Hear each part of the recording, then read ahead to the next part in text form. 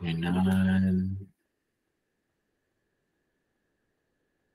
Wir atmen ein, Bauch nach vorne. Wer möchte, kann den Atem kurz halten oder gleich wieder ausatmen und Bauch hinein. Wir erkunden als nächstes die Atemhaltephasen. Einatmen, Bauch nach vorne. Atem kurz halten nach der Einatmung oder vollständig ausatmen. Der Bauch geht hinein. Und nach der Ausatmung kurz den Atem halten. Wieder einatmen, jeder in seinem Rhythmus. Wir versuchen in der Haltephase ganz entspannt zu sein, leichtes Lächeln und langsam wieder ausatmen, Bauch hinein. Letzte Runde.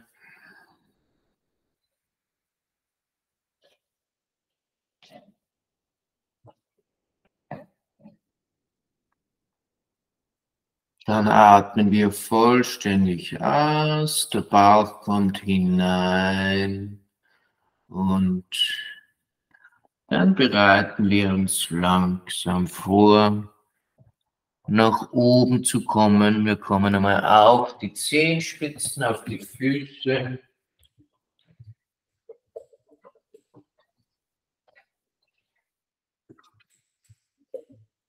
In einen aufrechten Stand. Du kannst gern wieder die Fenster aufmachen für den Gorilla. Und es geht los. Wir schauen, dass wir gut stehen, die Füße hüftbreit. Und wir atmen ein, Bauch nach vorne. Wir halten den Atem an und klopfen mal den ganzen Brustraum wieder schön auf. Trommeln, trommeln, trommeln. Und sobald der Impuls kommt, atmen wir aus. Huff, huff, huff, huff. Stützen uns vorne ab. Leere Lungen. Wer möchte, zieht den Bauch leicht ein. Als nächstes, sobald der Impuls kommt, richten wir uns wieder nach oben auf. Zweite Runde und einatmen nach oben.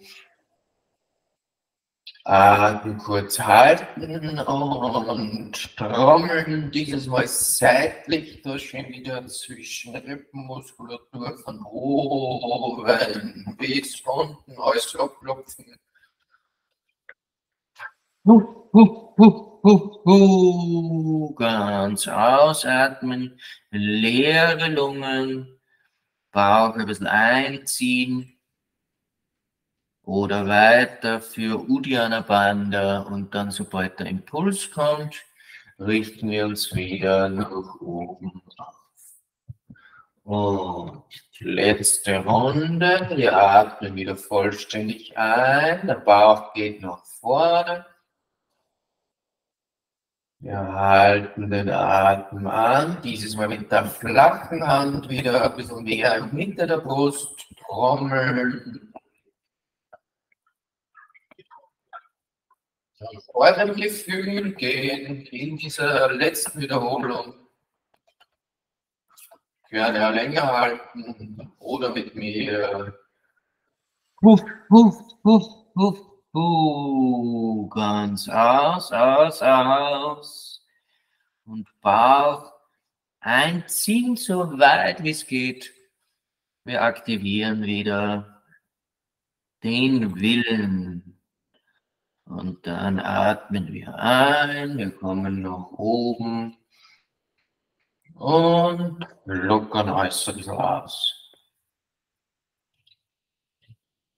Ja, als nächstes dann einige Wiederholungen für die Schultern. Das heißt, wir atmen nach oben ein, ziehen die Schultern nach oben und atmen dann aus, bringen die Schulterblätter zusammen und drücken die Schultern nach unten.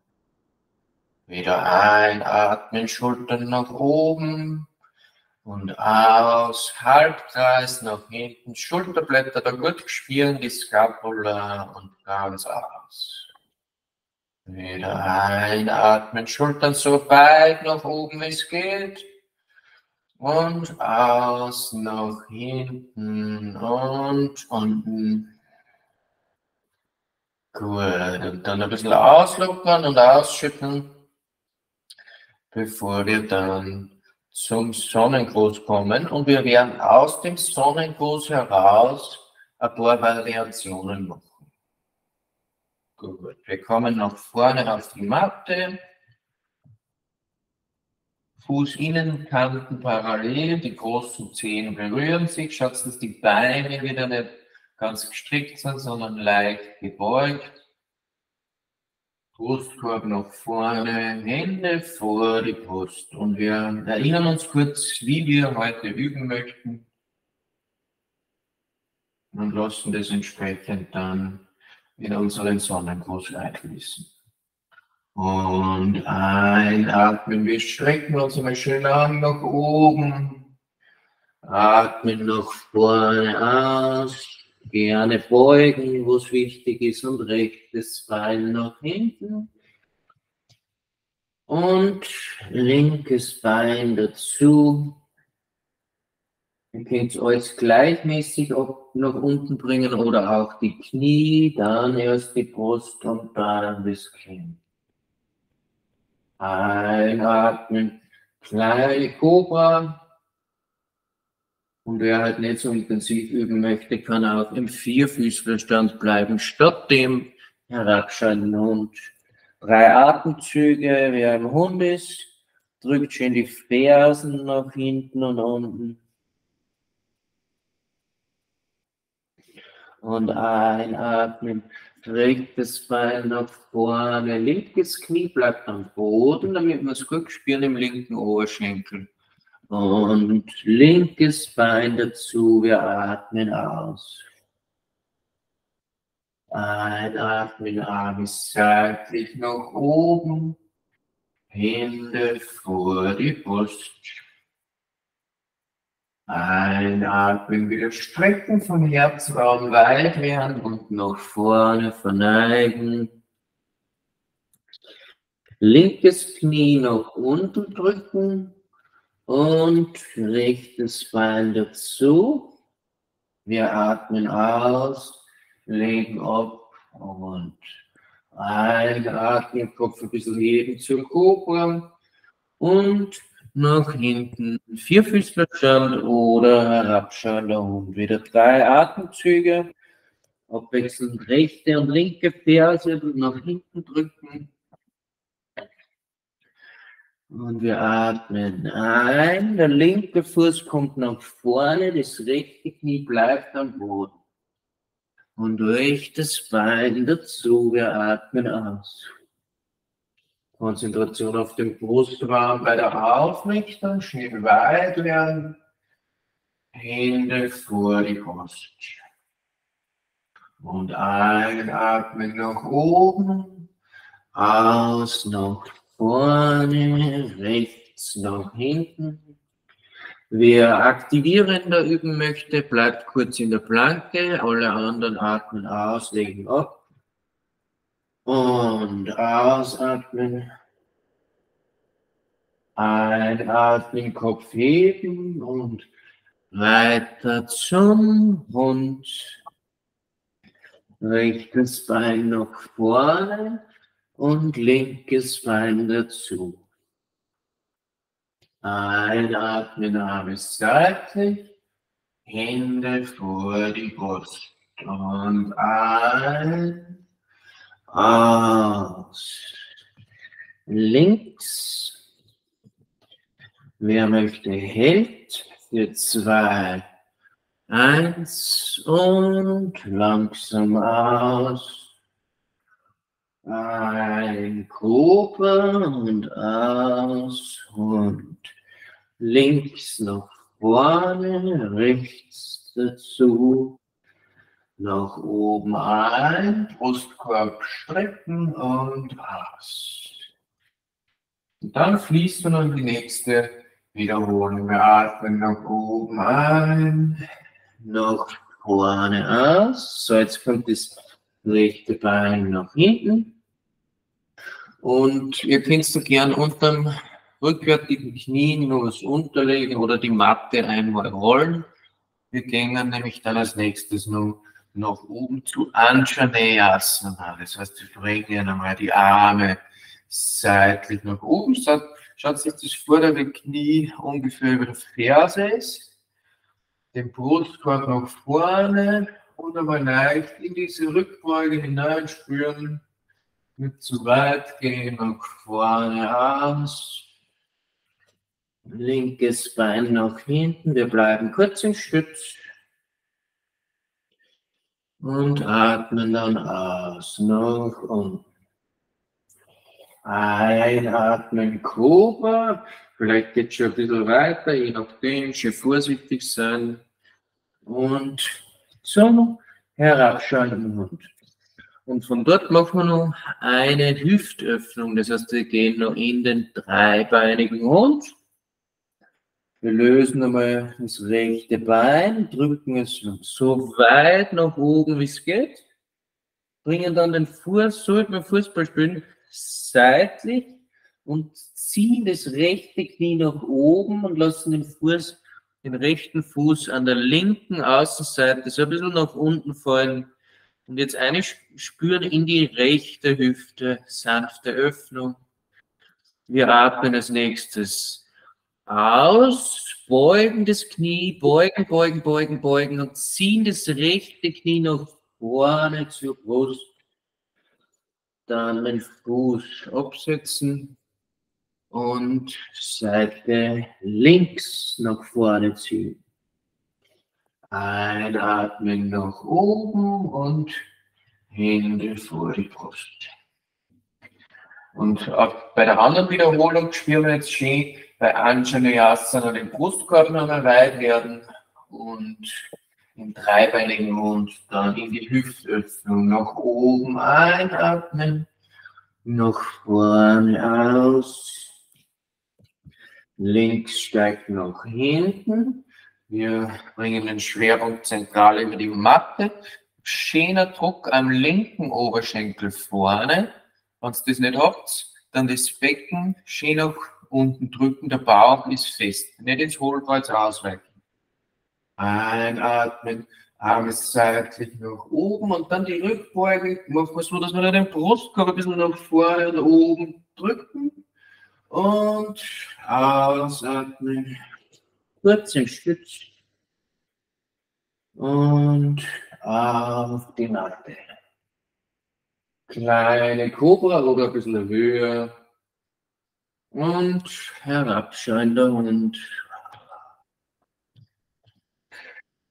Und jetzt kommt als nächstes das linke Bein langsam nach oben, dreibeiniger Hund. Wer wieder weitergehen möchte, den Fuß zur kurzen Seite ausrichten von der Matte und dann am rechten, rechts hinter uns nach unten den Fuß.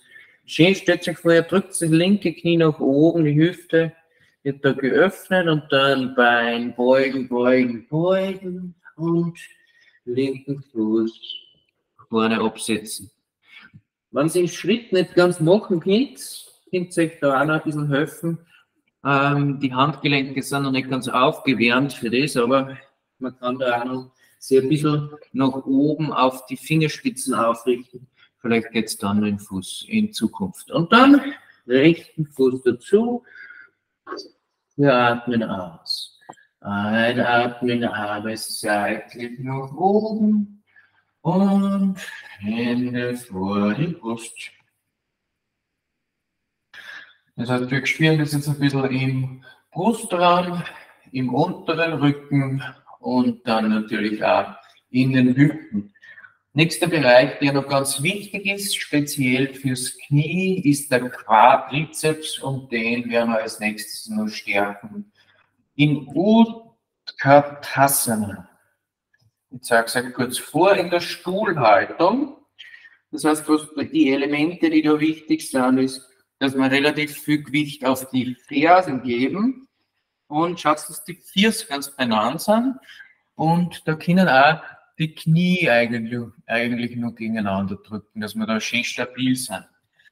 Wichtig ist, wir versuchen nicht ins Hohlkreuz da auszuweichen, sondern schön kompakt zu bleiben, wenn wir dann das Gesäß nach unten bringen. Es wird intensiver, wenn wir es mit den Armen nach oben machen und ein bisschen weniger intensiv, wenn wir die Hände seitlich halten. Gut. Es geht los. Für sieben Atemzüge. Wir atmen nach oben ein und dann langsam Knie zusammen, Gesäß nach unten, der Bauch ist fest. Für sieben, sechs, wenn man kann mit den Händen umgreifen oder zu den Knien. Für fünf, vier, drei, zwei, eins und nach oben drücken. Läuft ein bisschen ausschütteln und auslockern, auch die Innenseiten der Oberschenkel, alles ein bisschen ausschütteln. Auch die Rückseiten, die Hamstrings ausklopfen.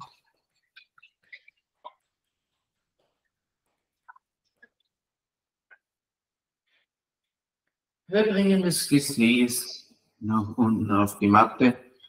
Mal Rücken, Entspannungslage.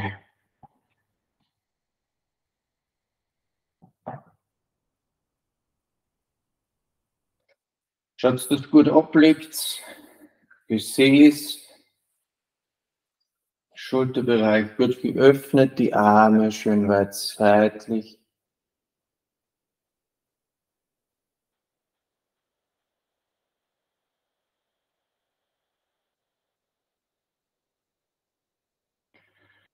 Und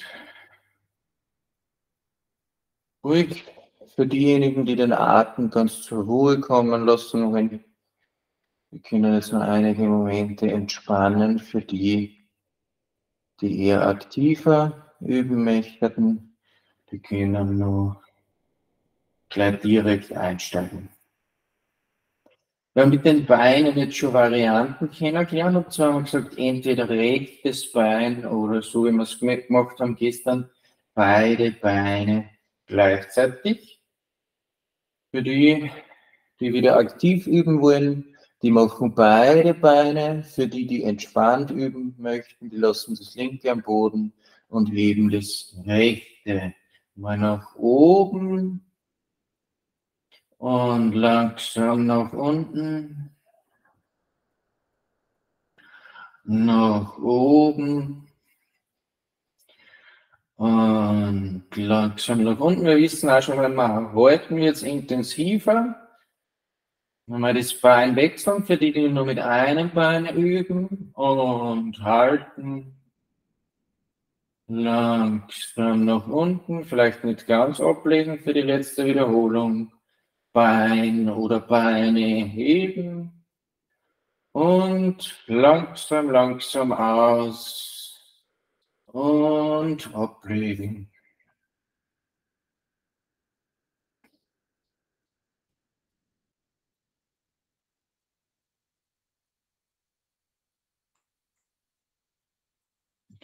Könnt gerne die Bauchmuskeln wieder ein bisschen Aufwärmen, die Hände drauflegen, kurz entspannen.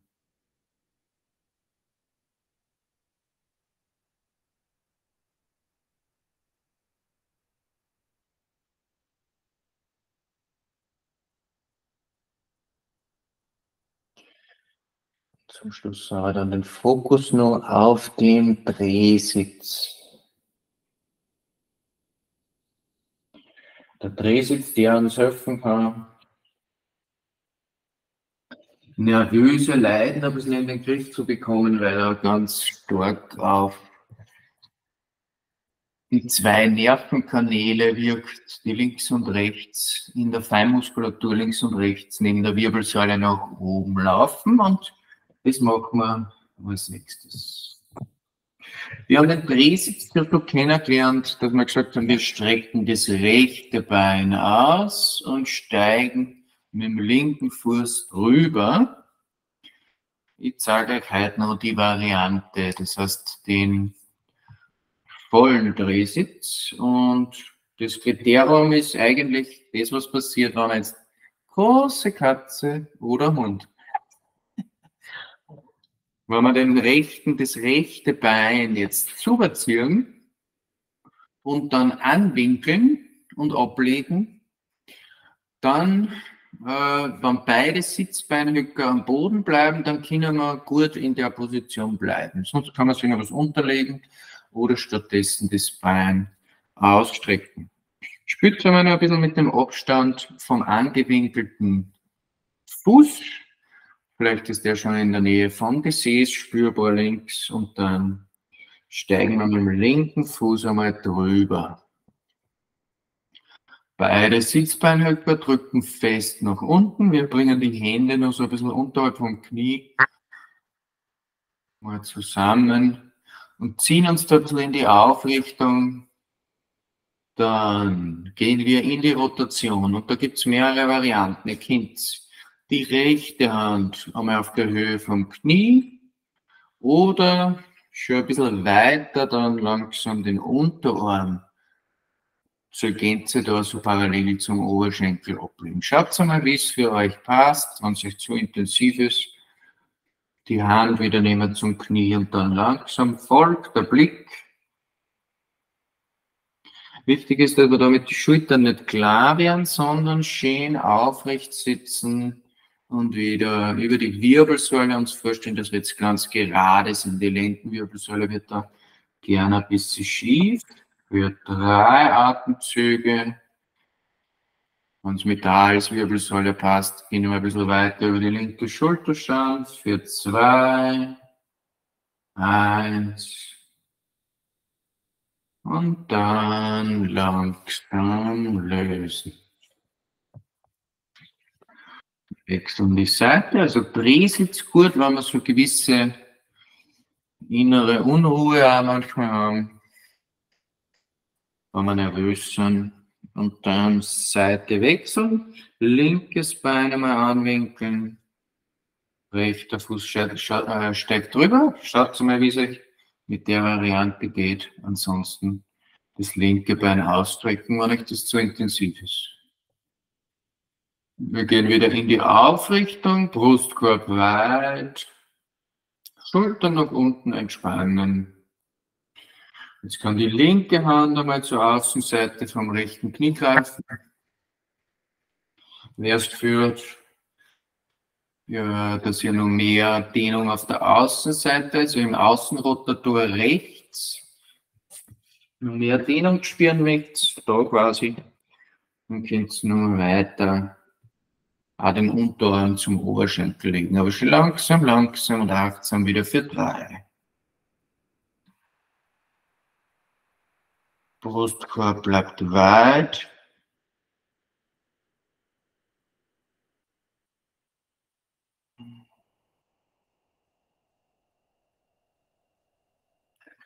Und dann langsam lösen.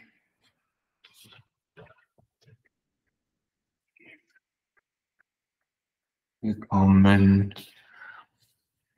in Shavasana, bei unserem Speed Yoga möchte ich fast sagen, 30 Minuten, ist schon, ist schon knackig.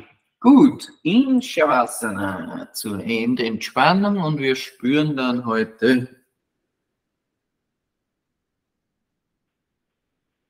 in die Bereiche, die wir aktiviert haben, im Sonnengruß, alle Muskeln oder sehr, sehr viele Bänder und Sehnen. In Anjaney Asana haben wir ein bisschen den unteren Rücken gestärkt, gedehnt. Und im Drehsitz haben wir noch die Nervengeflechte ein bisschen gestärkt, rechts und links von der Wirbelsäule. Und so gehen wir kurz in die Entspannung. Ich entspanne meine Füße, meine Beine und mein Becken.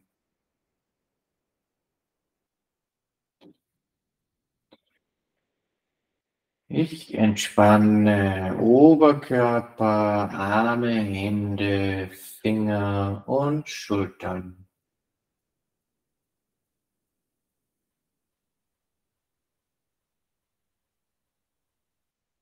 Ich entspanne Hals, Nacken, Kopf und Gesicht.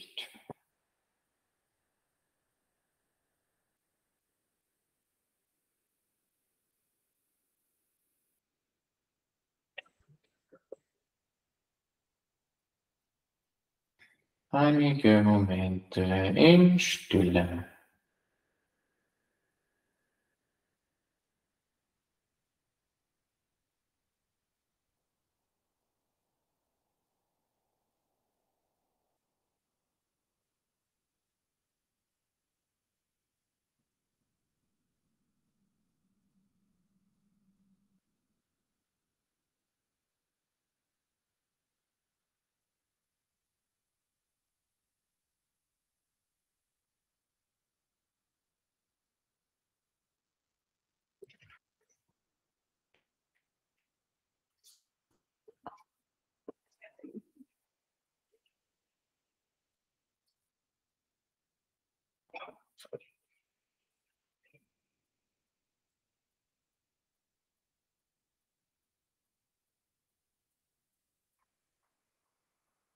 Und dann könnt ihr gerne strecken und dehnen.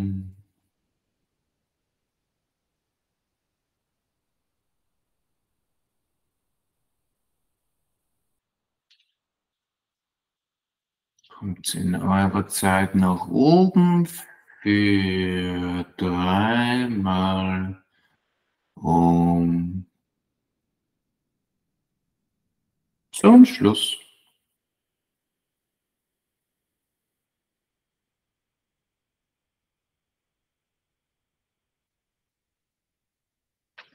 Oh.